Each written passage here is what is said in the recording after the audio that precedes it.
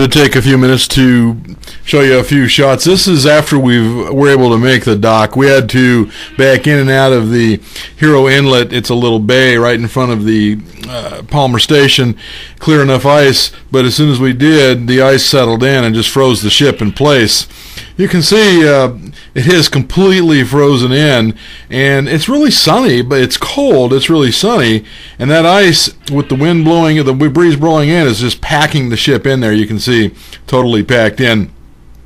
One of the problems is is that the ship can't navigate, and, and it's in kind of treacherous waters. There's a lot of shoals here, so it can't risk it. As you can see, even the fenders are just frozen in place, so it looks like there's going to be no research going on for a while. I took just some uh, few uh, shots around uh, around the camp. You can see here the whole bay. This is called Hero Inlet. It's a little uh, bay. We're on a peninsula. It's completely frozen in with about three feet of ice. You could walk all over it.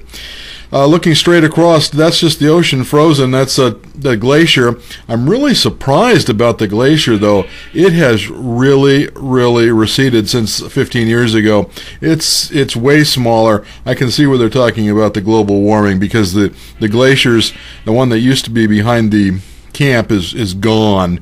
This is just taking uh, around the camp. That's my office. Outside my office, um, it's about 10 feet deep there. Uh, inside the office nice and comfy, but you can see there's a lot of snow, and uh, we didn't really expect it right now.